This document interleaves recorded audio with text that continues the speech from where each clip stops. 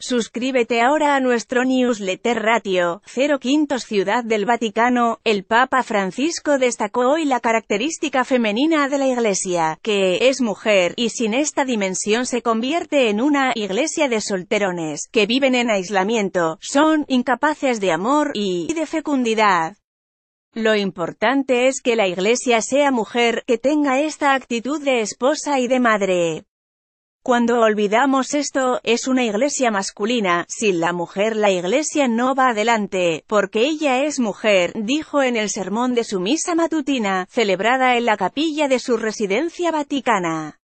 En la Casa Santa Marta, el pontífice celebró por primera vez la fiesta de la Virgen María, Madre de la Iglesia, que él mismo instituyó hace algunos meses atrás, y advirtió que la comunidad cristiana no es una asociación benéfica ni un equipo de fútbol.